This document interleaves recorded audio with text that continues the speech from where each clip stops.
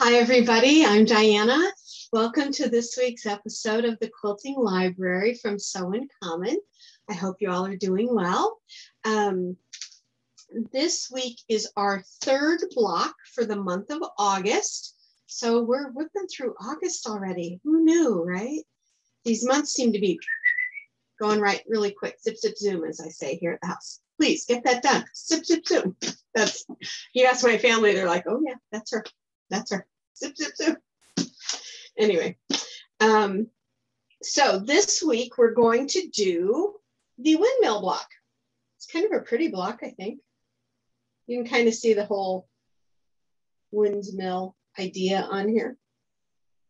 I like this one. And um, I'm going to give you the information verbally on what you need to make this block. I will also type it in the description down below, okay? Please, if you enjoyed the Quilting Library or any of my other series, Good Gadgets or Sew in Common, please click the subscribe button and click the little bell so that you can get notified when I add new content. That way, that way you'll know when new stuff comes out. I would super appreciate it. I am like 13, 12, something like that, away from 3,000 subscribers. I'm like super jazzed about that. So if you could help me out, that would be great. Um, but really, you know, I, I want you to do that because you enjoy the content that I'm bringing to you for sure.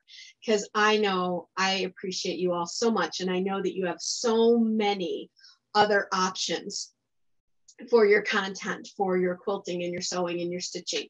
And by all means, watch a combination of everything because there's so much information and good stuff out there. Um, I myself, I got like lists of people I watch and talk to and stuff like that. So it's um, helpful. It's a community, right?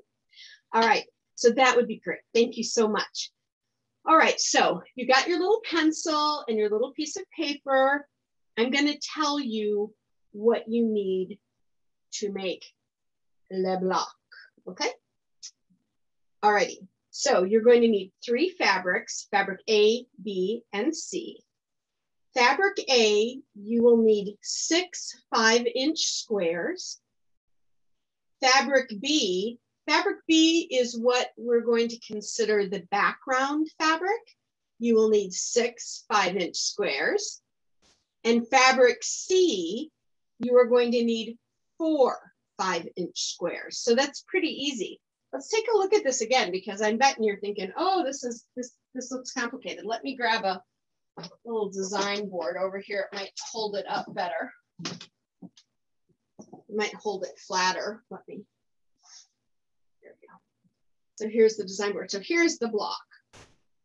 It might look like it's complicated. You're like, oh, diamonds and stuff like that. No, not at all.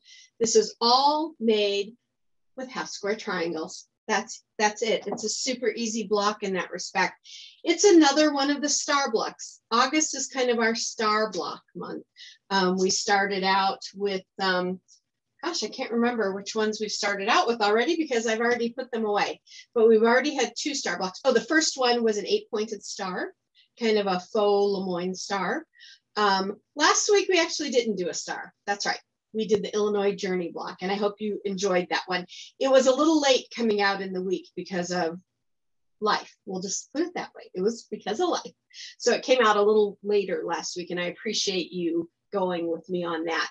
Um, but it's out. So if you haven't had a chance to see it, maybe you have two to watch now. That would be fun, right? Or some of our older ones, that would be great too. Um, but other than that Illinois Journey block, all the other three blocks this month are all some sort of a star block. And you'll see star blocks a lot because star blocks are really prevalent throughout the entire quilting um, community. So this is at the windmill. But I know it looks like it could be difficult and you've got funky angles and all that, but really, no, it's just half square triangles in rows. And it it's based on how you put your half square triangles together. That's all it is. So it's gonna be easy. Um, I wanted to show you one little project. I'm not even gonna do this in a good gadget because I've already shown you folks this little contraption for cutting your strings when you chain pieced a bunch of stuff. Well, this last month in, um, sorry, I have strings on me. I'm always, I know I shouldn't pick them off because they're always on here somewhere. I mean, that's just the way it is. um, but in a in a monthly subscription box that I get this last month, we got this little product called String Blade. They kind of look like little um, irons, don't they? But they have a little sticky back piece that you peel off and you stick this somewhere. And inside this teeny tiny little bit right here is a blade, just like here, for you to cut all your strings and stuff. And there's three in the packet. I haven't taken mine out yet because I don't know where I want to put them. But I'm thinking I'm going to put one over by the sewing machine itself because sometimes uh, when I'm just sewing for me, I drag the iron and the mat and everything over there and do everything. So I'm not up and down and up and down, although I should do the up and down, up and down, right? Because I get my steps in that way. um, and then um, I have this one here. So I don't know yet. This might be nice to take with me when I start traveling again. I don't know. I haven't decided, but I think they'll come in handy because although it took me forever to start using this, once I did start, I use it all the time now. I really like it instead of my snips. So you never know, right? What's, you know, when you're going to find something new. Okay, so that was a little product I thought because it kind of goes because we're going to be doing a lot of half square triangles. So we're going to be doing a lot of little snips and cuts. Okay, so now I want to show you how you need to group these fabrics. You cut all your squares. You have six of fabric A, six of fabric B, and four of fabric C. They're all five inch squares. That's easy to remember. You might also want to have your half square triangle trimmer ruler, whatever you use for trimming up half square triangles. I use the Quilt in a Day ruler. Um, you can also use just a square ruler to trim up, however you square up your half square triangles, because we're going to square all of these up to four and a half inches, okay? Alrighty, so um, you might want to have that handy for after we get them all sewn up. So here's how we're going to put them together. We are going to do four sets of block A and block B. So let me set our completed one right over here. So I'm going to pull these out and I'm going to show you my. So this is my fabric B. That's going to be quote unquote my background fabric. And this is fabric A. Okay, I'm going to give these to a little press here. When I cut them, they were close to a fold and I never fully pressed it before. Um, if you pre-starch your fabrics and stuff, please do whatever you normally do that's fine. Um, I don't starch like that. Um, I might do a little spray sizing and stuff. Um, for seams, I use my conditioning pen for seams, but I don't spray everything stiff. So that process is a process. If you do it or want to do it, um, you can do that. You can do that on your own, okay? Um, so we're gonna have four sets of A-B blocks. And you might as well, when you put them together, put them right sides together. So I was doing a block a couple weeks ago and I thought I had them all right sides together. I didn't. I ended up doing them all back to front. I picked out more stitches that week. It was a really bizarre week. I was sewing everything backwards, not putting them together. It was crazy, crazy, crazy. Sometimes those things happen. That's why we have seam rippers. okay, so I have my four sets of my AB blocks. Then we want two sets of BC blocks. Ooh, BC. So the B block or the background block and the C block. Now my C block is a super duper light, misty oh, sea glass color, I suppose you could say, but it kind of melds in with the aquas and stuff in here. It's really hard to see on camera, I know. It's actually kind of hard to see like in person here because it's a very light color with a very, but I wanted something that would kind of read as a solid for my C block or yeah, my C block. So this is my C block. I want to make sure I have the right side. Yeah, it's the back because it's so light. So that's my front. There's my B block. I'm gonna give this B block a little press too. There we go. So, and I'm to put these two sets together, right sides together, just like I had said for my other sets. I give this one a press. I thought these didn't need much pressing, but a few of them did. All righty. Okay. So I have my BC sets, that's two. Set those over there. Now I want two AC block sets, okay? So my A block and my C block, right sides together. And we're going to have two sets of those as well. So see, this is already coming together. So super simple, right? You could, this block could be done in a much more difficult manner. Here, I think that's easier for you to see. Could be done in a far more difficult manner. You could end up doing stuff, but doing it with half square triangles just takes all the difficulty out of it. So again, you know, your experience is a great way to get a bunch of blocks turned out right? You can get them done quick. Um, if you're a beginner, these are great blocks because you're dealing with that primary um, block that we use in quilting, in quilt piecing, which is the half square triangle. Okay. I think I need to, I need to cut my bangs. It's making me nuts. All righty. So we have all of our sets here. Now we're gonna do that thing I tell you every time we do half square triangles, we're gonna mark them. I'm gonna use my magic wand and I have a marker. Uh, it's, this isn't gonna be seen, so I don't care. So I'm using a very thin line Sharpie. See, really thin line Sharpie, but I'm doing that so you all can see the marks because I know normally I use a pencil or what I would ever I would use when I'm doing my own stitching. And I I have been realizing you guys can't see those marks and I apologize for that. So on my demo pieces, I'll use this little thin line dark marker and you'll see it. All right, so I'm gonna flip the camera to the overhead and we'll mark these up, okay? So this is my AB block set and I have four of these to mark.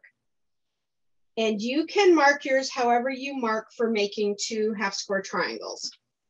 Do you use a magic wand like I do, or do you just go from diagonal point to diagonal point and then stitch a quarter inch on each line? That's fine too. Whatever is the easiest for you, whatever you're used to. So I've got my blocks right sides together. Yes, I'm just double checking. Okie dokie. Hold those down. And I'm gonna give myself a mark down that side and a mark down that side.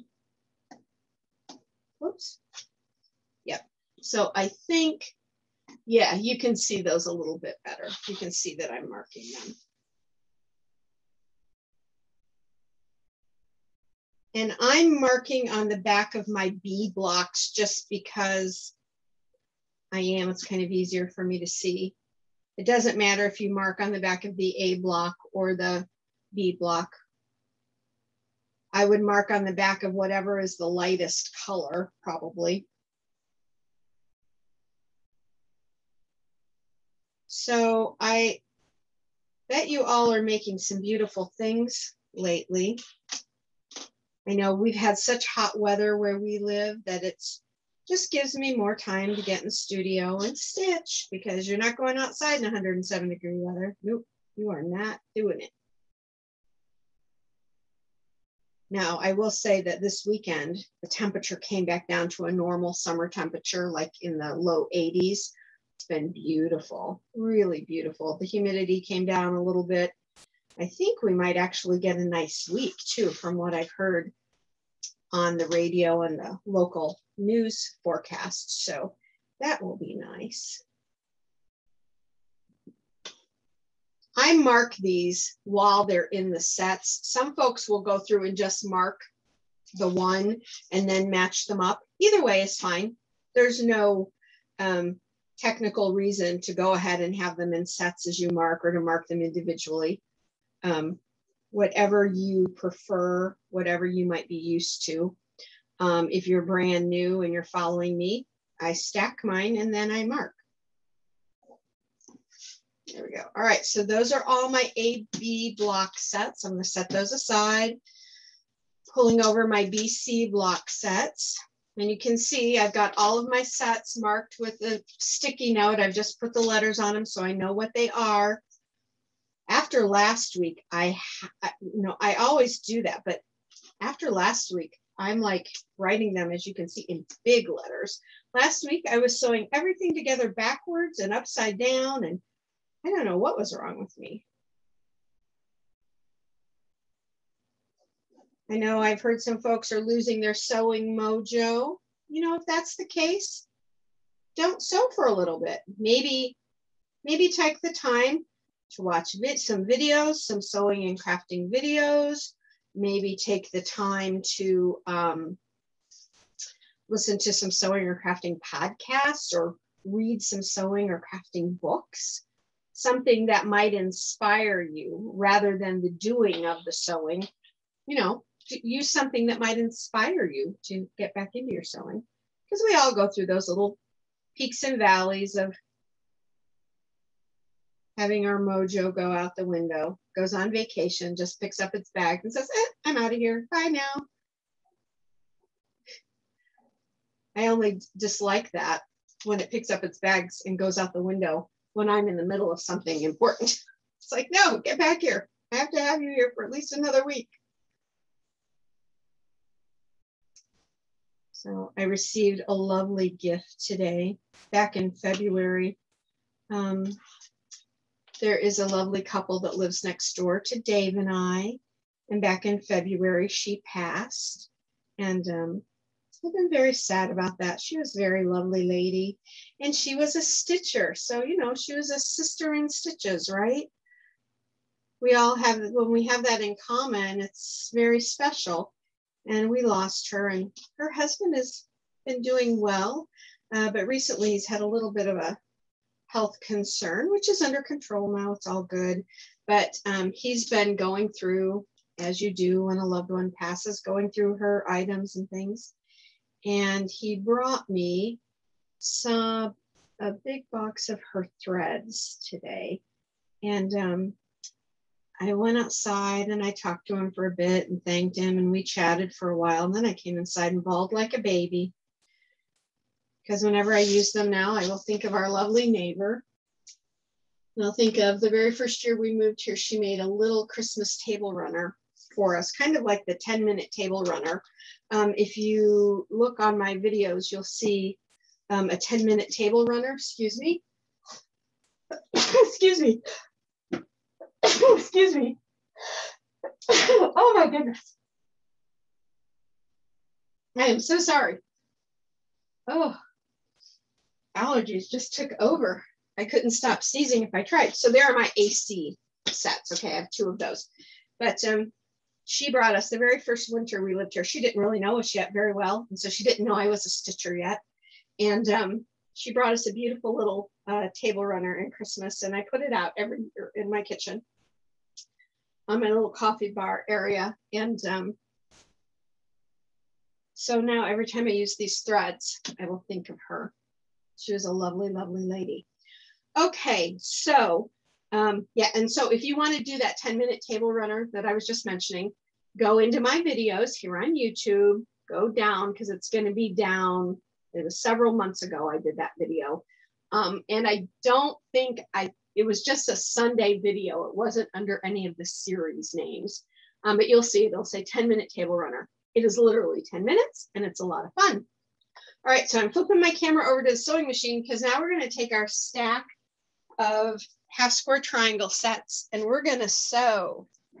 We're gonna sew, sew, sew. All right, so as I always do, I'll give you a little setup information here. I'm using today, I'm using um, Aurifil 50 weight 2021 thread. It's a white thread. It's what I had on here, so I'm not changing it. But you all know normally I pieced with um, 2600, which is this light dove gray. Um, but that's fine. We'll do the white today because that's what's there. So I'm going to start with my stack of AB fabrics. sets, okay? Oh, um, I'm using an 8012 uh, Microtex needle. Um, you could use a 7511 if you liked. Um, I recommend you use a sharp needle, regardless if you use a 7511 or an 8012. Um, I would suggest that you use a sharp needle for uh, patchwork piecing. It makes a cleaner stitch in your fabric.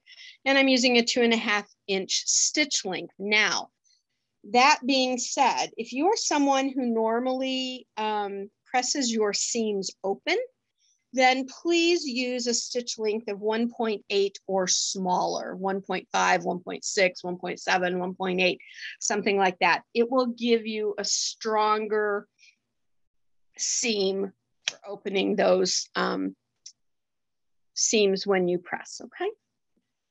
So i've just got a white white bobbin and i'm playing a little bit of bobbin roulette today. We may end up having to change this bobbin but that's quick because this is a little drop in so I'm setting up to stitch right down my uh, lines that I drew. Just making sure everything's nice and lined up and getting my foot pedal where I can reach it. Do you ever hate it when your foot pedal ends up like three feet in front of you and your foot just reaches out like it's trying to grab it? I usually can get it, but what I hate is when I have to crawl under the sewing table to find it and it's on like a little non-slip mat and stuff. Doesn't matter. It still does its own thing. It's like my mojo. Sometimes it just gets up and does its own thing. So I'm just stitching directly down my lines. And I'm going to chain piece these sets.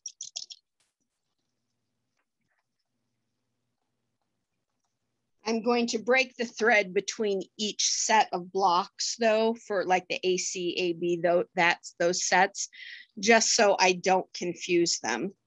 And because I get a little worried when I chain piece, I tend to confuse things and get things backwards. I don't want to do that. Oops, there we go. Okay, so we'll bring in the second one. It doesn't matter what order you sew these in. I'm just going to sew them all.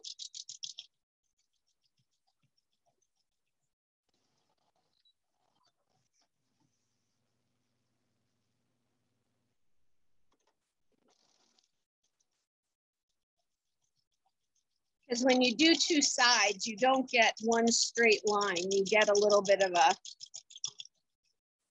so now I've got one over here and one over here, and I'll put the next one in. They don't just keep going straight through like um, when you do one side at a time.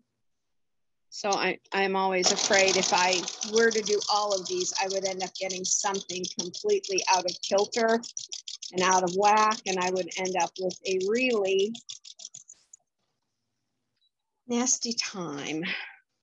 I don't know why I just put, put my, there we go. I'm gonna put my needle back down. I don't know why I lifted it up.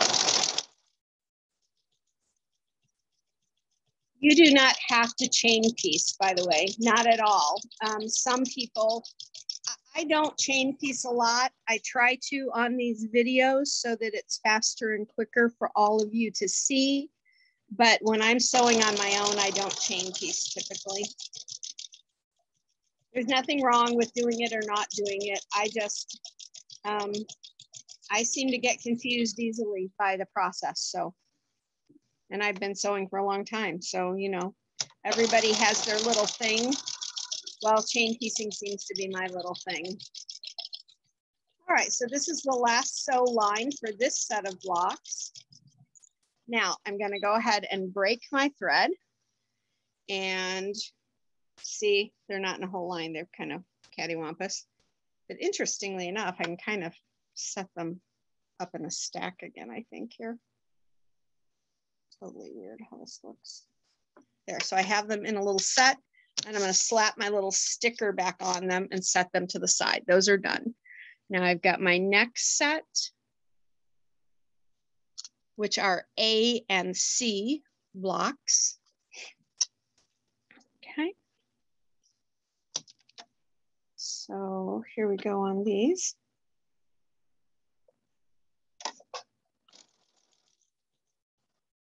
And I'm just hmm, There we go, straighten that a little bit better.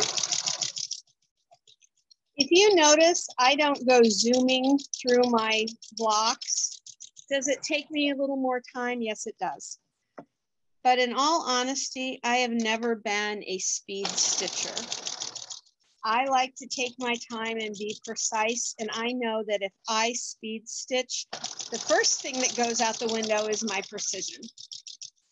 Um, so I don't. I leave my machine set, my machine speed set right in the center. I rarely ever go past that to the high end. I just feel like for me, I have better control. So if you have better control with your machine with the speed at the low end, feel free. If you're a super, super speedy sewer and you get precision at the high end, go for it. That's just not me. And also, you know, I, I don't mind if it takes me a little time. This is, I'm doing this for the enjoyment of it and for the, um, you know, for the stress reducefulness of it. That's not a word, right? But um, to reduce stress, you know, this is one of the things I do and I enjoy it. So I don't necessarily want it to go super fast. Okay, now this set of two blocks is done. And I'll stack those up and we'll put that sticky back on it. And we're gonna grab now our set of BC blocks. And I'll line those up. So how many of you out there, you can comment in the comments. I read all the comments. Um, how many of you out there have a feather Singer featherweight machine, a 220 or a 221? If you do, let us know and let us know why you love it so much. So um, I had a Singer for a long time. And then when I went away to school, to college, my mother gave it away. So I now have it no more and it makes me sad sometimes because it was a lovely little machine. I mean, I know why you all love it. They're lovely little machines. And um, it's a workhorse, right? I get that. And then the other night, my husband tells me, Oh, well, my mom had one of those and she never used it.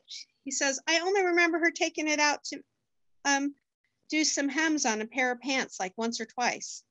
That was it.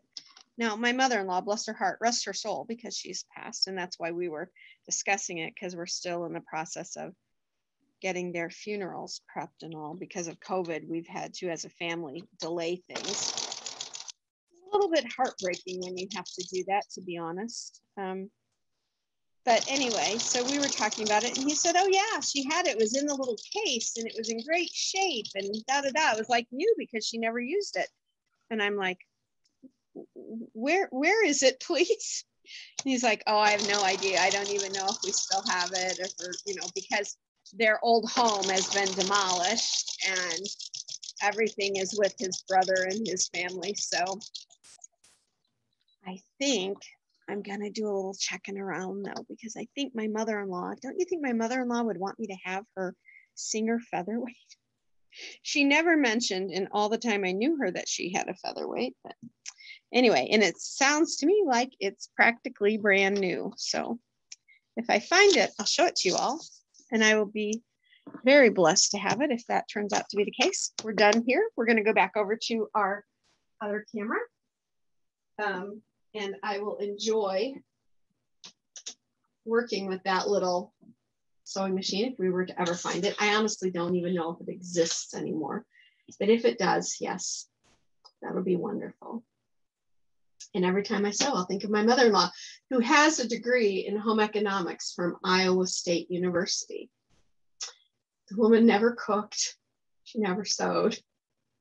She was sweet as she can be. Let me tell you, she was born too early. She'd been born now, where girls are encouraged in math and science. She would have been out there to the moon. Seriously, that's the kind of mind she had. And her two brothers my husband's two uncles. sometimes I'm a little hesitant to say this because one of them was on the Manhattan Project that helped develop the bomb. Also, in his later life, he took that knowledge and helped develop like sustainable energy and stuff. So, you know, we don't brag about that, but the man was smart. They came and asked for him. And then his other uncle uh, worked for the War Department in the Army and helped develop um, biological weaponry with botulinum toxin. And do you know what we call that today? Botox.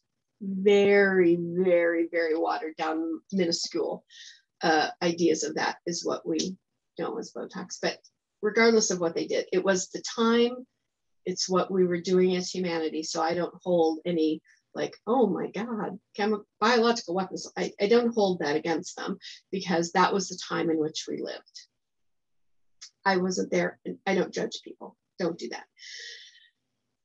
But they were brilliant men, super brilliant. My husband's grandfather, super brilliant engineer, um, divine, uh, uh, helped design bridges between St. Louis and Illinois and all of that. And so, really, a, a super great, interesting family. And um, if I had ever been able to meet them, I know I love them dearly. Um, I've seen pictures and I can just, you can see in somebody's face, right? what they are in here. That's how I feel about those gentlemen. But that's how my mother-in-law would have been. Ec should have never been her major in college. She should have been like a biology major, an engineering major, a math major, something like that, because that's the kind of brain she had. Born before her time in that respect. Coffee time. Okay, enough family history. I'm now going to take and use my little cutter and cut apart my blocks. So those are my BC blocks. Now we're going to do our AC blocks, ACDC. Good band, right? AB blocks.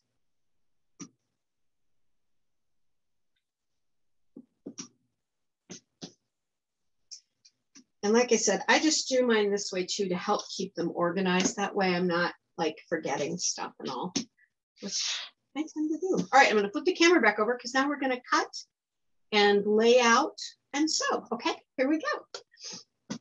Okay, let's go ahead and start with our AB blocks.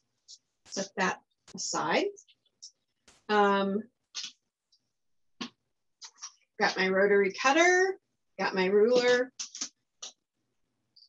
I'm just going to put my quarter inch mark on my ruler on my sewn line here. You can do it on either side. Because I'm a lefty, it works for me to put it on this side. If you were a righty, you would want to put it over here because you'd be cutting with your right hand. Because I'm cutting with my left hand, I put it on this side.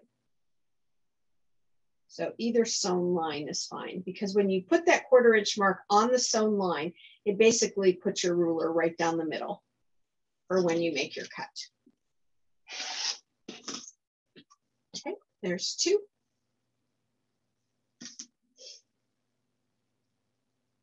Just line this up and away we go. So anyway, we were talking about featherweights, right? So if you have a featherweight, tell us about it. Have you had it since you were young? Was it your mother's or your grandmother's or an aunt? Um, did you get it as a young woman? Um, have you gotten it recently? Like you knew all about these, but you got it recently. Oops, um, tell us about your featherweight because so this is the moral to the story, right? I'm on the lookout for one. If I ever find my mother-in-law's, I will just be overwhelmed, happy. I have a treadle. I have a Singer treadle. Um, in the cabinet the whole bit. I love it. It was gifted to me recently. I grew actually grew up sewing on a Singer treadle. Um, my best friend's mother and my grandmother had one, but um, and I was recently gifted one in the um, in the not the box, the um, cabinet. Gosh. So now I'm going to set all my seams actually, whoops, I take that back. I'm gonna trim my seams first, or I'm gonna trim my locks first. Um, I want to trim these down to four and a half inches. So I have four and a half here. I'm going to lay that four and a half on my sewn line. Let me get out my rotating mat. It makes this much easier. When I see people doing this kind of a thing and around, it just makes my heart beat a little funny. All righty. There we go. You won't have too much to trim, actually. You trim these however you trim your half square triangles. That's fine. You just want to square them up to four and a half inches. But I will tell you, I really love this quilt. This is a Quilt in a Day. A Quilt in a Day, um, six and a half inch triangle square ruler, and I love it. So anyway, I'm on a lookout for a nice little featherweight that I can, even if I have to restore it, I will. I just want one back. They're such lovely little machines to use. Um, I know they're kind of trendy now, and I think that's why I've been seeing some of them for over $4,000. Good night. I had no idea. I won't be spending that kind of money. Can't do that. Um, that's why, you know, if I can find my mother in law's, I'd be thrilled. And if I can find one that needs to be cleaned and maintenance and all, I will certainly do that um, if it's a reasonable price where having it maintenance and all won't end up being $4,000. Can't, just can't do that. In all honesty, it would be more of a nostalgia thing for me because I love it and I grew up using them. Um, but so if you know, now I know of the I know of the featherweight shop. And they have some that are in like the $600 range right now. I don't know if they're in stock with them or not. I saw pictures, some of them when I went to look, they said sold out. So I don't know if they actually have them or not. I, will look some more. I would probably go that high if it was ready to ready to go. So I know about the featherweight shop. And the ones I've seen on Etsy were all people wanting $4,000 for them. I just, no, can't do that.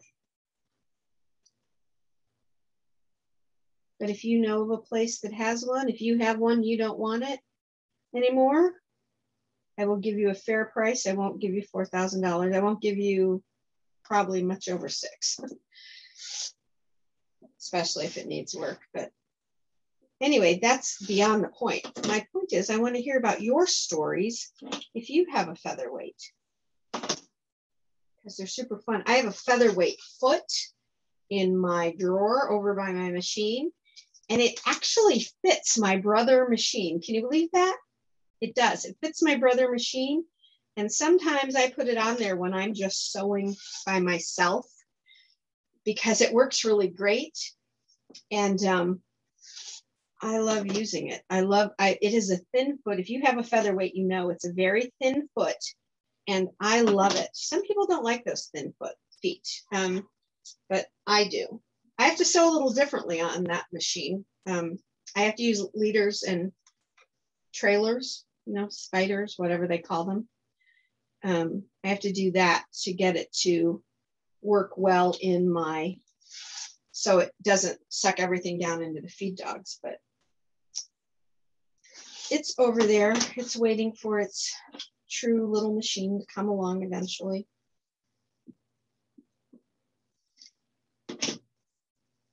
Have you made a quilt on your featherweight? I have a friend right now who's working on a quilt on her featherweight who lives kind of close to me. So I wish her all the best on that. Her husband took a picture of her working away and it looked like it was all going really well. So I'm going to go ahead and trim all of these up so I can get my rotating mat off the pay, off the table before I go and um, press and all.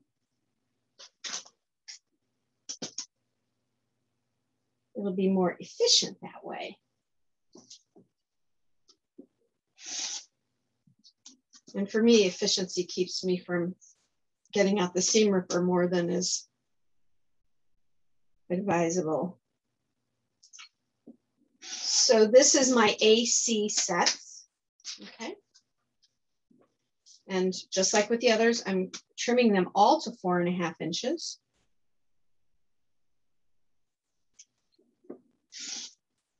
If you don't have a rotating mat, really think about getting one for the safety concern, if nothing else, because you're not, you know, doing this backwards towards yourself kind of sewing, which is going to end up getting you cut. And just give a listen on that one. Ask me how I know. I'll be honest and tell you. Um, now, some of them can be a little expensive, these turning mats. Um, but you'll notice that the one I have is a Fiskars. And I got it, I'm going to say the dreaded word, I got it at Joann's several years ago, many years ago. And um, I used a 40% off coupon and it clicked right into my budget. I like that. And um, I use it a lot. I have a smaller one too that I use. Um, but it works well. Um, it doesn't have the um, the ball bearings in it like some of them do. I'll show you here how this one's made, but it works just as well as any other. It's got good markings on it, so it's easy for me to use it for marking. So I'll take this off real quick. This one just lifts off. See this little round bump here? And the inside has a little space and they just, there we go. They just snap together. And so they work fine. I was thinking there's a beautiful one. I think it's by Sue Daley. She does a lot of English paper piecing. I think that's basically what she's known for is her EPP. And um, it's a beautiful, it's a beautiful um, rotating mat. It, it's round, it's got ball bearings, so it's smooth, but in all honesty, it's probably a little out of my price range. Not that it's not worth it. I'm not saying that. I think it probably is worth it. I'm just not at that point. I have other things I need to think about these days. You know, we all have priorities we have to think about, right? So maybe someday. But in all honesty, this one works great. So I really don't need another one. Having the newest trick on the block isn't necessarily, I have to be careful of that sometimes because I love gadgets, thus the whole Good Gadgets series, right? So this is my BC set. We're almost done. As soon as we do these, we're ready to flip and press and start doing our layout. So I'm, if you're wondering, I know usually I don't necessarily go through the whole sewing process with you on my videos because I was thinking that folks really didn't want to see the whole process, that they wanted, you know, a good overview and a good understanding, but they didn't necessarily want to see me sewing all of them. And about three weeks ago, I got six messages from different people, people who don't know each other from Eve. And they all said to me, Would you please do the whole thing, soup to nuts? Really want to see the process. If you guys want it, I'm willing to do it. Just means you have to listen to me gab on.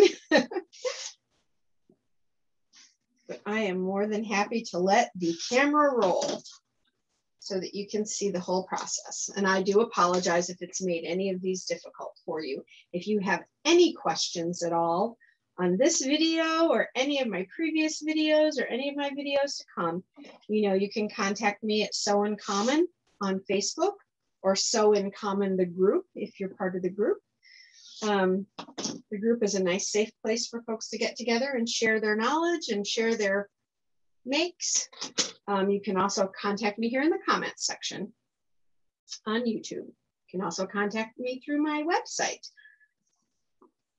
Lots of ways to get a hold of me. All right, so all of my blocks are trimmed up. Now there's one more part of the trimming I'm gonna do, but I don't need my rotating mat for that. I don't know if you all have seen this yet because I can't remember if I've shown it to you. So um, I have a friend, her name is Chris Thurgood. Yes, if you know her, that Chris Thurgood. She's the owner and operator of the lovely shop out in Utah, um, my girlfriend's quilt shop. And Chris does a thing when she's getting ready to flip and press her half square triangles that I have adopted now.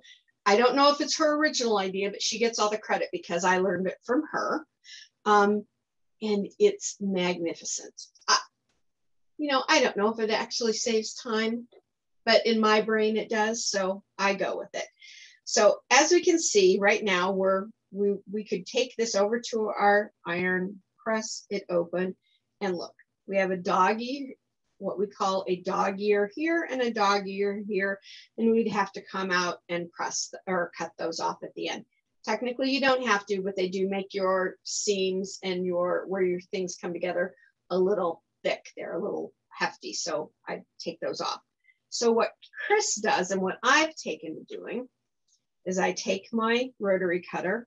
See right there is the end of my sew line where my thread is. So I'm not, you know, cutting into here and I just bring my thing at an angle and cut it off. See, just at an angle. I don't know what the angle is. I don't care what the angle is.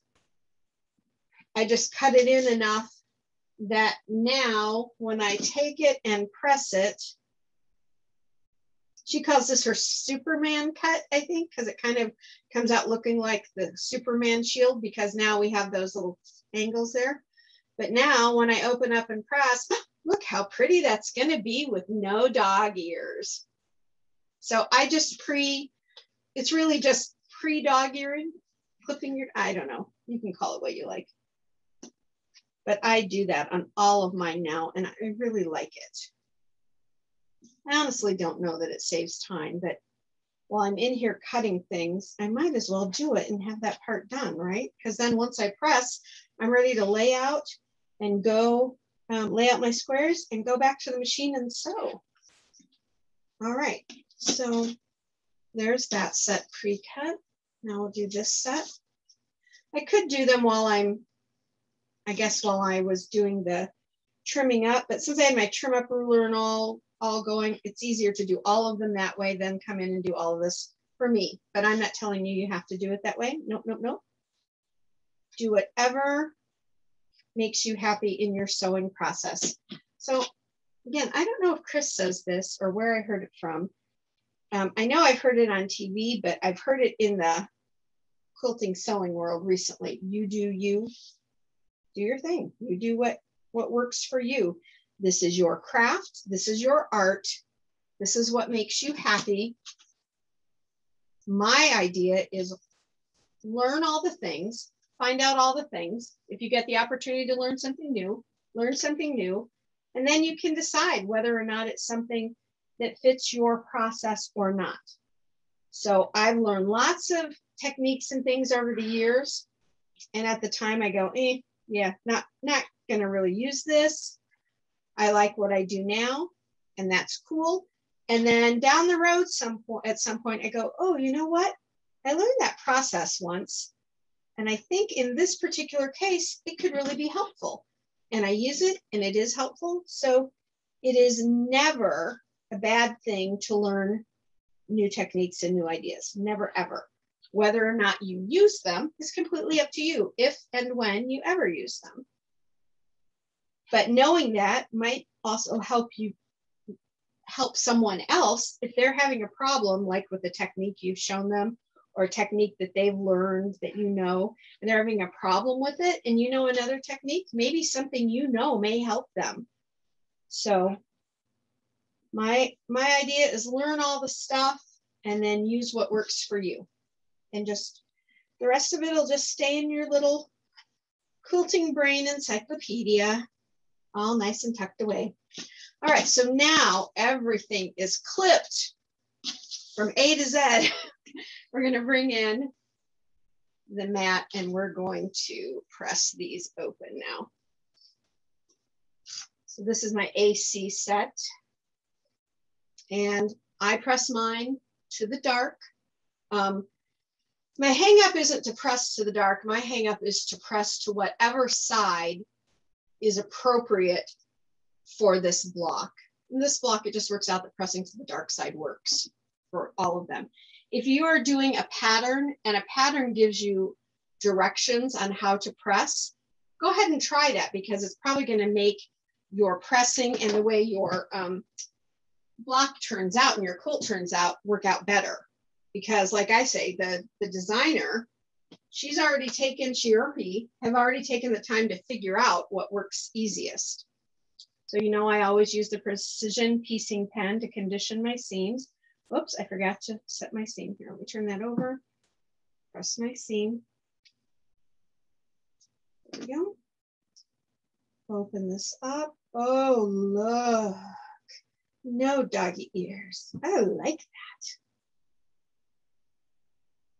And with the precision piecing pen, it gives me this lovely flat little, oh, look how nice that looks on the back. You like that when things turn out that way? Now I'm gonna set a clapper on there. Not the clap on, clap off with the lights thing, the um, tailor's clapper. If you don't know what that is, you can find out. Just go watch. I think it was my very first or second Good Gadgets episode. I talk about this and I talk about that clapper. I try not to go over it every time I do this in every single video because those of you that watch all the time, I know get tired of listening to it. So it's just easier to tell you where to go find it. But as always, if you have any questions, you just let me know. Oops. Bring my pen.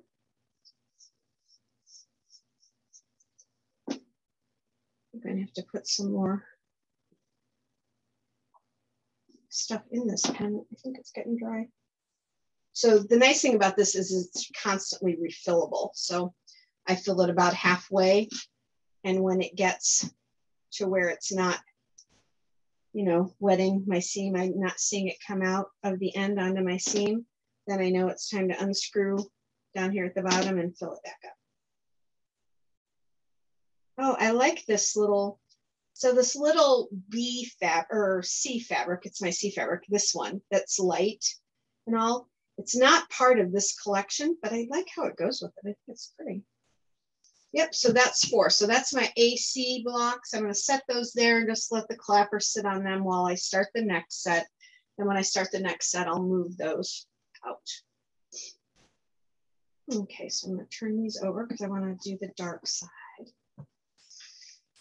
Oh, I really wanna say go to the dark side, Luke, but I know people get tired of hearing that. I'm such a science fiction nut. You know, I never was either. I never was. I've been, you know, I've wanted to be a scientist and all my whole since I was little, little, little.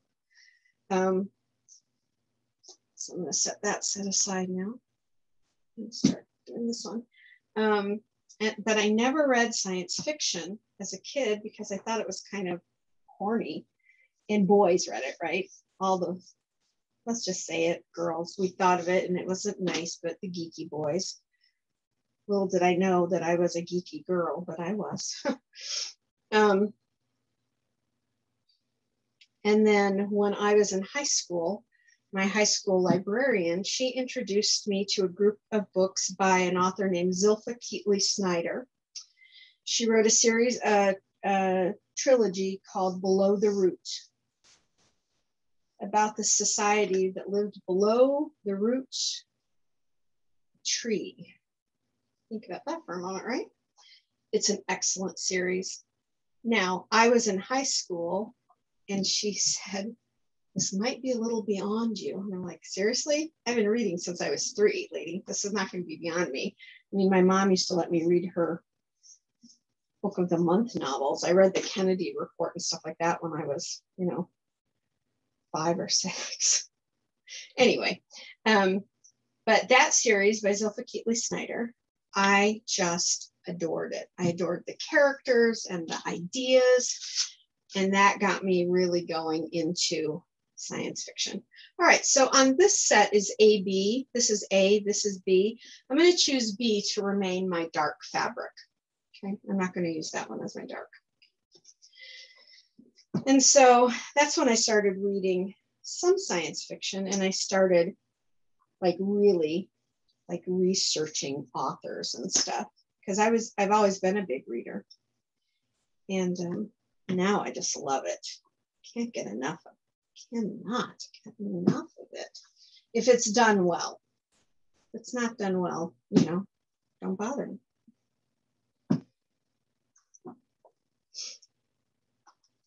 But because I tend not to follow the trend, if I hear something's good, I have to go and research it like it's, you know, going away tomorrow before I make that decision. Just who I am. Alrighty. So this is our AB stack. This is our biggest stack of half square triangles. As soon as we're done with this one, we're gonna start laying our block out and sewing it together. This fabric is really beautiful. Um, this is actually a fairly new fabric. I don't have the name for you on these videos. I don't give you the names of fabrics because I choose fabrics out of my stash. And sometimes I don't have those names and I'm sorry. On my um, sewing common ones, I try to always use fabrics that are current that you could go and find. And I try and tell you who those uh, designers are. Um, it just so happens that this particular set of fabric, this collection, is on the market and fairly new. Oh, it's called Flowers for Freya, F R E Y A, you know, the goddess of love and motherhood and marriage and home. The um, if you know the Wagner opera series, The Ring Cycle, Freya is the wife of Wotan, the king of the gods. So It's called Flowers for Freya. I'm pretty sure it's a motif fabric, but don't completely quote me on that. But I know the name of the collection is Flowers for Freya. And I think it's beautiful. It's these colors that I love. The navies, the aquas, the teals,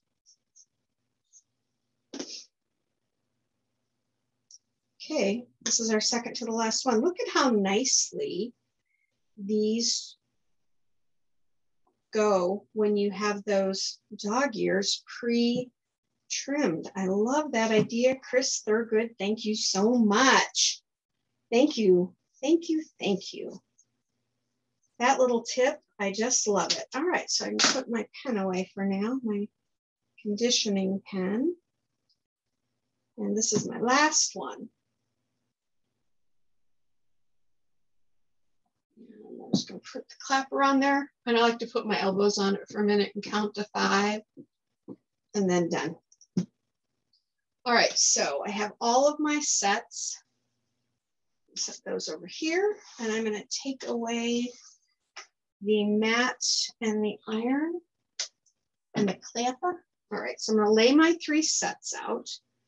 B, C, A, C, A, B. I'm gonna bring in my original block. So I set this out right. So that is a B, A, yeah, A, B. So I want to start here. So your A, B blocks are gonna go in your four corners, like this. So you're going to have in your upper left corner, you're going to have your B block in the upper left, like this. And so your A block is what you would call in your lower half, upper half, lower half, okay? Now, your far right corner is going to have the A side up in the upper half, the B side background in the lower half. Slide those up a little bit because we're going to start, we're going to start getting kind of crowded here. Let me see if I can get this any better for us. There we go, that might help a little bit. Okay. So far left, far right. Now we're going to go to the bottom left corner and the B background is in the upper quadrant. Oh, we can't see that now because now I have it too far up. Doggone it. There we go. Okay, upper uh, quadrant, A fabric lower quadrant. Over in the far right side, we're going to have it with the B fabric in the lower quadrant and the A fabric in the upper quadrant going in this direction. So we're going to kind of lay those out like that. Now, right next to the lower left one, you're going to do another AB square. And you are going to match it up where the A fabric is in the upper left and the B fabric is in the bottom right. So can you see how it's making a diagonal strip right there? So you wanna make sure you've got that strip going on. Now, in over on, let's see, let's let's go ahead and and do this row now. Let's let's continue by rows now. So we're working on the very bottom row. Okay. Next to this one, we want to use a BC fabric square. We want the B fabric to match up next to this B fabric and the C fabric to be right there. Okay. So you can see that little peak right there.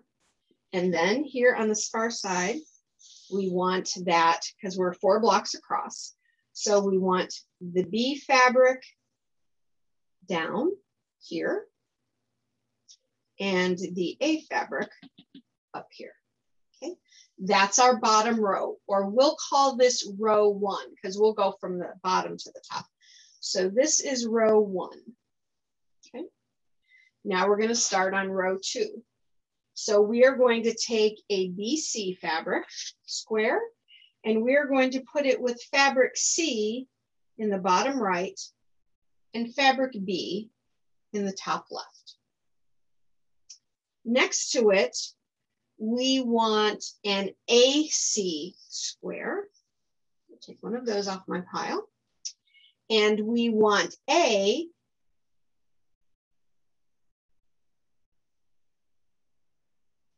in the bottom right and C in the top left. Now look what we're doing. We're getting a diagonal going this way and we're continuing the diagonal we started here. Okay. Right next to it, we want another AC square. And we want C to be in the bottom left and A to be in the top right because this four patch in the middle is actually going to end up being a pinwheel. So now we want another AB fabric square. And we want A in the bottom left and B in the top right. Look what we're doing here. We're getting an angle going here too, okay? All right. Slide this down a little bit now, okay? Now we're on starting row three row three. Okay, we start row three with an AB square with B in the bottom left and A in the top right. So again, we have that peak right here. So we have a peak here and a peak here. Guess what? We're going to end up with a peak here and a peak up here too, right? You can see that coming, I bet. So now we're going to take an AC square and we're going to put A in the bottom left, C in the upper right. So we're got the third side of our pinwheel now, but look, here we have that diagonal line starting there. Can you see how that works? Okay. Now we want our very last AC square and we want A in the top right and C in the bottom left. And look just at those four squares right there. We have a nice little pinwheel, four patch pinwheel right there. And you can see over here, we have another diagonal going. Okay. Now on the far end here, we want a BC square. Right? BC, yes. So we want B in the bottom right and C in the top left. So there we have our diagonal There we have our point. That's row three. Now I am gonna back this up some so we can put row four right up here. So we're going to start with an AB block and we want B in the upper right and A in the bottom left. Ooh, look, there's our diagonal. See, you can start to see it coming together. Now, our next one is our BC, and we want C in the bottom left and B in the top right. C, B.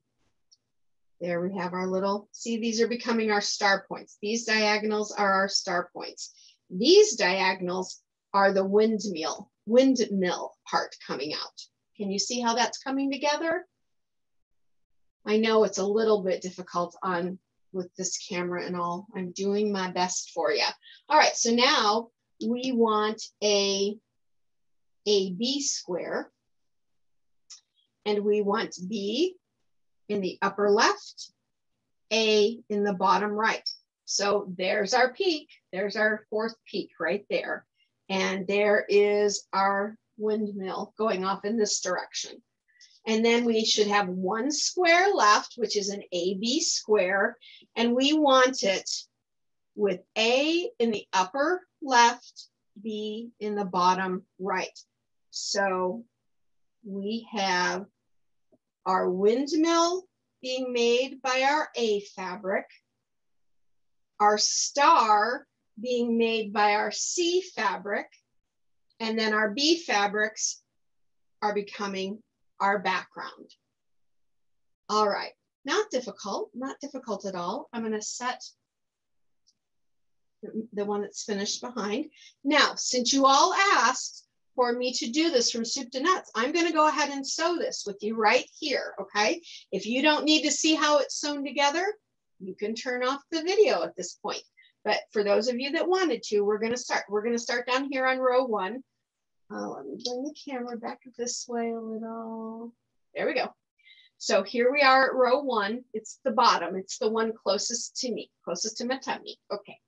So I start in the right and go to the left. You might start on the left and go to the right. Doesn't matter.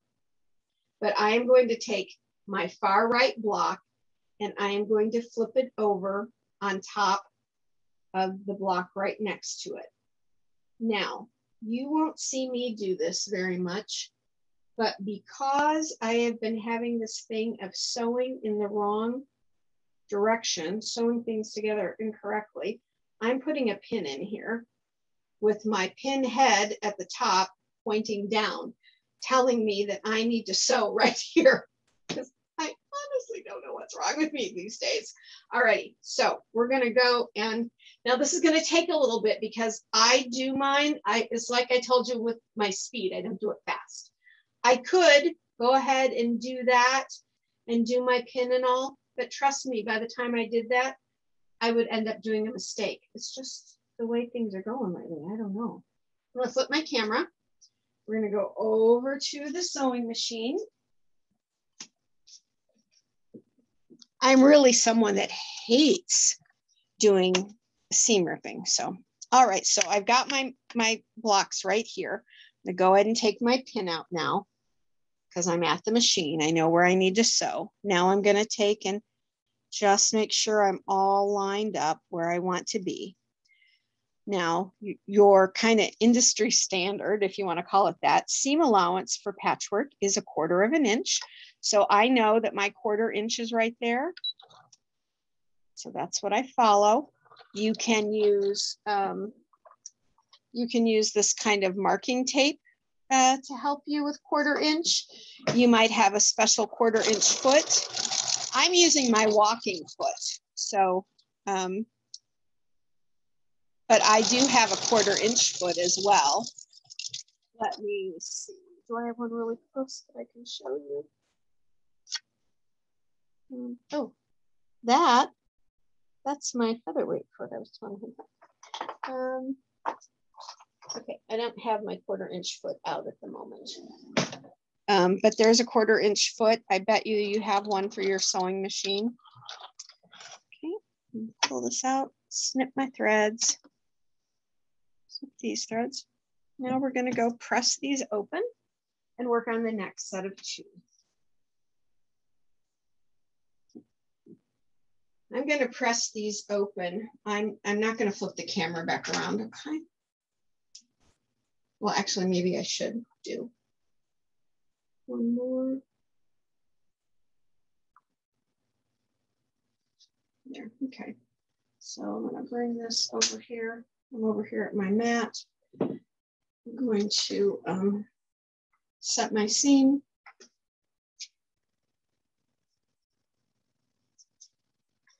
Condition. And I trim as I go. So if I find that I need to do a little trimming, I do that as I go. That's just my way. Some people trim up everything at the very end. That's fine too. I just trim it while I know I need to. So let's turn this back over here. So I've got my, oh, you can't see this. Let's see. Just trying to slide everything a little bit. There we go. You can see this now. So I just know I need to trim ever so the tiniest bit off. So I'm going to do it while I've got it here. See, just threads. Okay, that's good. All right, so now this goes back where it came from.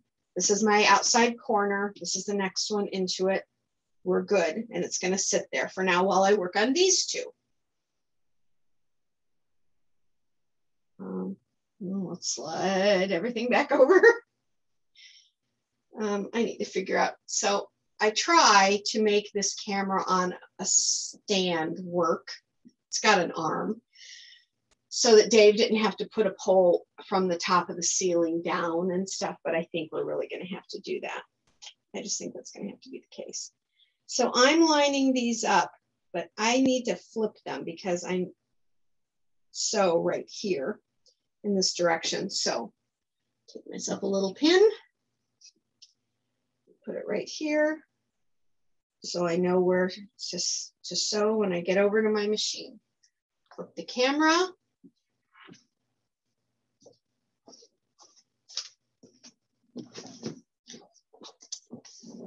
And here I am, all lined up. And I'm not gonna hit my pin, so I'm not even gonna bother, whoops, my foot down. So I'm not even gonna bother to take it out because I know I'm not gonna hit it. I'm not coming anywhere near it.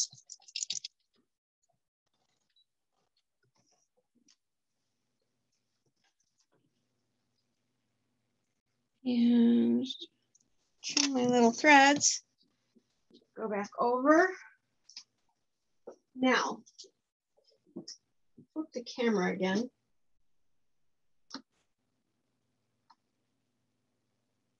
There we go. So I flipped this so I could sew it here, right? So I'm gonna flip it back this way now because I know that's the order it actually goes in. I'm gonna take my pin out and then I'll bring it over and press it. I know you're not seeing the pressing, but I'm not doing anything different than I didn't do on all of those half square triangles. So.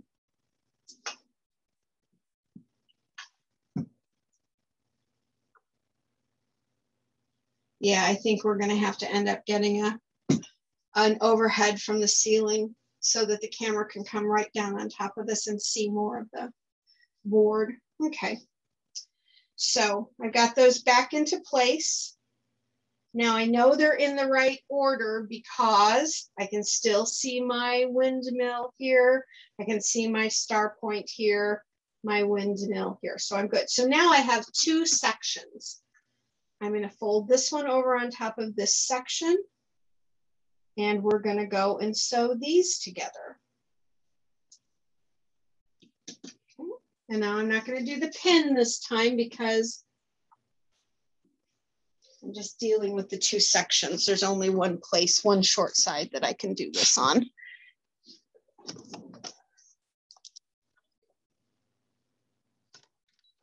Line it up and away we go.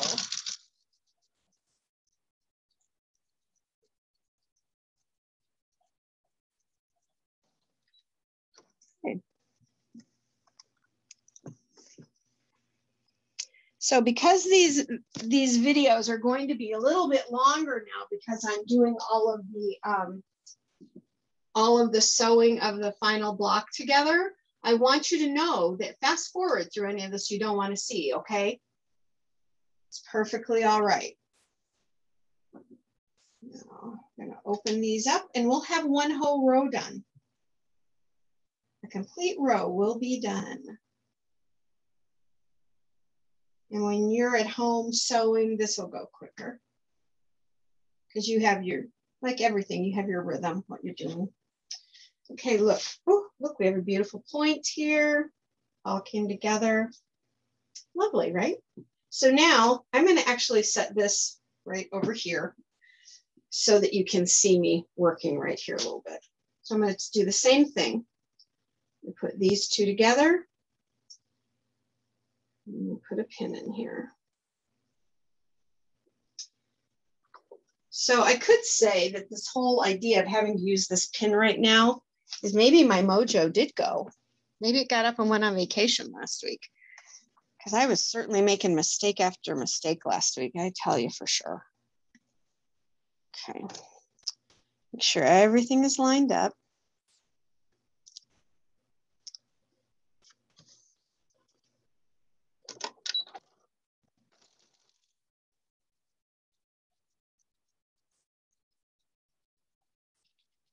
So until I trust myself that I'm out of whatever rut or craziness was going on in my brain, this pin and I are going to be friends for a little while.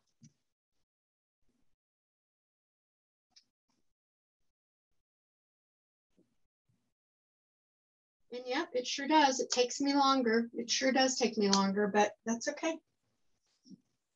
I am not erasing. Okay, so I'm gonna go ahead and press this open.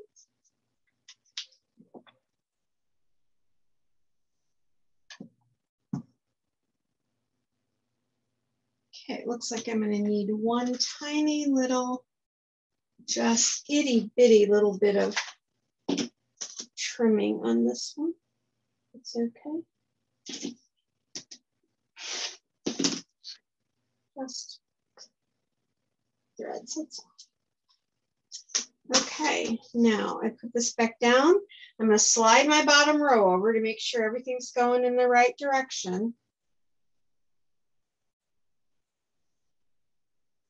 That how that was supposed to be? Yep. Because you can, let me see something here. No, something's wrong. See, something is wrong.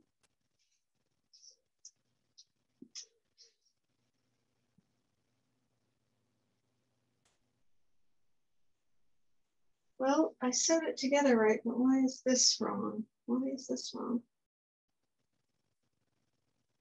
This should be a C V square. Oh, I see what I did. About flipped me out. There we go. Oh, had see, I had flipped this bottom one and I thought I had put these squares together wrong. Oh, I almost had a heart attack, guys. Seriously, almost. Take a deep breath, Diana. Take a deep breath. Ah. All right, so see, we've got our windmill coming here. There's our point. There's our windmill. Okay, we're in good shape. Now we're going to go into this set. I really thought I had messed that up. I thought, surely not. I used the pin and everything. Ah.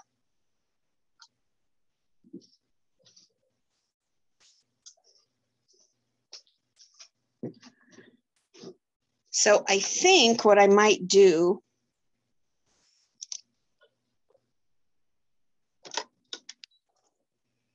I might ask Dave if he can start doing a little editing on these to speed up this part so you don't have to watch it in real time. You can watch it in sped up time. It just, he works so much and it really takes, it takes him a while to do it. So I don't like to take all his editing time. I know he doesn't mind, but we'll see. Like I said, if you if you aren't, I'm going to flip this again. If you aren't um, needing to watch this part, then by all means, just fast forward through. You won't be hurting my feelings any, I understand, but I want to do this for everybody who wanted to see it. Okay, so now we put this back in here. Yep, yep, yep, yep, that's lined up. I'm gonna actually slide this, I didn't flip it. And then I'm gonna put these two together. And go back over to the sewing machine. Now, I know some people would say, Diana, put all those blocks on your, um, put all those blocks on your design board and carry them over to your machine and just sew everything and then come back and iron. I can't do it that way. It's a lovely idea. And those of you that can do it that way, more power to you. But that is the very thing that will get me confused it's always been that way for me. This isn't, that part of it isn't something new. Um, I have to do things in a very chronological order. And because of the way I have the room set up right now, it just means a lot of up, up and down, walking back and forth. But I don't mind. If you guys don't mind hanging on with me, then we're good. Flip the cameras again. Whoops, flip the camera again.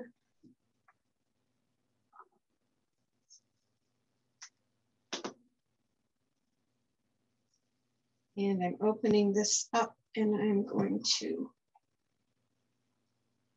press. Okay.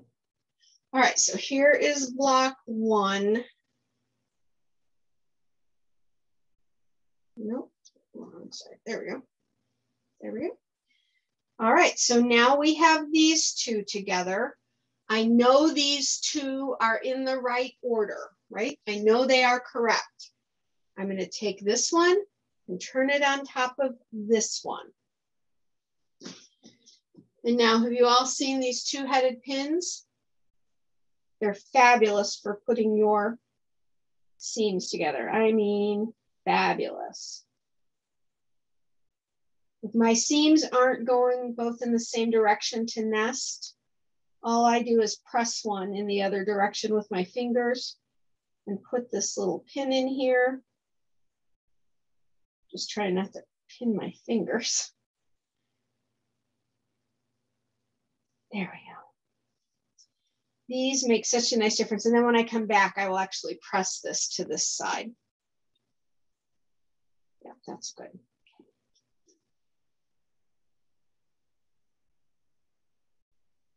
I like to press at my, or I like to pin at where these points and seams come together. We used to use these pins in retail a thousand years ago. And I found these again through Lori Holt. She uses them, and this is actually her product, her set of pins. And I love them. They just work really well. You know, I always use my little Wonder Clips, and I like those. But I really find that these double armed pins really hold it together nicely. I mean, it holds it. Your your seam isn't going nowhere. Okay, so I have my whole row put together. Now we're going to take this to the machine and sew it. And then the whole bottom half of the row is going to be over. And to be honest, I'm not going to hold you while I do the top half because seriously, it's done the same exact way. And I think you've seen me doing it now enough. I will show you the whole finished block um, well, you've seen it in the in the picture, but um, to hold you together while I sew the top half together um, is just kind of a waste of your time, seriously. Because it is done exactly the way I've just done this bottom half. And then you put the top half and the bottom half together like I'm doing these two rows now.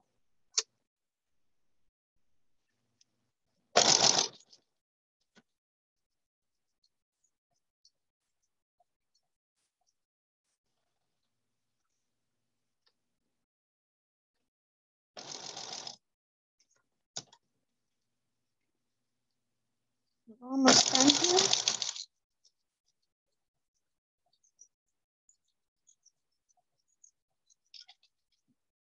All right. So we're just about done here, guys, because I'm only going to sew this bottom half, seriously. It would be another 30 minutes for me to do the upper half, and those of you that don't need to see it would be hating me. I know it for true. I know it for true. Okay, so I'm going to slide my other blocks up. I'm to bring this pressing mat in here. Okay, so I want to show you what I do here. If my seams, if I've had to hand press over my seam, what I do is I come in right here next to the seam and clip up to the line. I don't, I don't clip the actual seam line. I just clip up to it, right? And then they fold back so that they lay properly. And I just give them a little press, press them down. Now, with these longer seams, I don't use the conditioning pen. What I use instead, oh, you could use steam or water. I know some of you don't like it, that's fine. Or you could use, I use this magic sizing. I love this. It's the extra crisp and I find it not to be extra crisp, but I just give a light little spray there on that seam. That's all I do. They have a regular strength too. Um, I find it doesn't quite press quite as much as I need it to. And the, the extra crisp really isn't all that extra crisp. It's not like using, it's not like using um, Material Magic or, or starch. And now I'm just pressing this out. I need to see if I can find a tailor's clapper that is 16 inches long. I don't know if I've ever seen one that long. I'll have to check around because what I try to do is while I'm really getting one seam going well or one side, then I switch. I actually should just have Dave cut me one. I've got another one over there that is one he cut me from a piece of scrap wood and it works perfectly. Should have him just cut me a longer one. Okay, now with that done, I'm gonna look at my back seams. Okay, so right there, that's popped up a little bit. I wanna give that a little press. There, that's good. That down. Everything else looks great, actually, so I'm not worried about doing that. All right, so let's slide that over. All right, guys, so here we go. Let's bring in our the squares we still have. So I'm going to do the exact same thing that I just did on the bottom two rows to these top two rows. And when I'm done, I'm going to flip this half onto this half and it's going to come together. You can already see the bottom half of it. You can see my star points. You can see my windmill points. You'll see the whole block finished. Well, you've seen the whole block finished in the um, thumbnail for this video. So you'll see it. Wow, I really think it turned out pretty with these fabrics. I like these a lot. This might be a group of fabrics I need to check in getting more of. All right, so let me flip the camera around again. One more cycle. There we go. All right, guys, so that is the windmill block. I'm just putting my scissors away. That's the windmill block. So that's the half we've finished, and I'm just gonna go finish the other half. Exactly the same way. Exactly. No difference. I don't do anything different. And then I sew the two halves together. Presto changeo, it's done. And we end up with this beautiful block. So I love this one too. I love these fabrics and they're kind of in that same blues and greens like this one I did today. So what I could do, if I could come up with a couple more sets of these colors, put four of them together would make a nice wall hanging, or we have a square dining table. Would lovely right in the center of my table, and it would be almost big enough to cover most of the table. I would take it off while we eat, but so I might do that with it. If I do, I'll let you know, I'll show you a picture.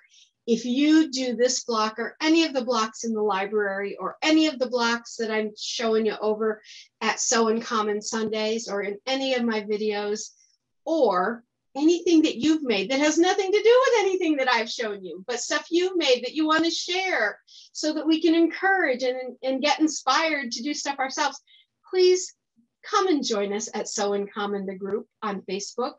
I know Facebook is, you know, gets a little bit of a bad rap these days, but believe me, I do everything in my power to keep safe uh, the Facebook group a safe place for you to be there's no outside advertisements. If there's anything advertised in there, it's something that I put in there that I'm offering for you guys to be able to, like a workshop or something, basically. Um, but I don't let people come into the group from like unknown places where they have like three people and they just signed up an account. Course, you're getting hacked that way, right? We don't do that.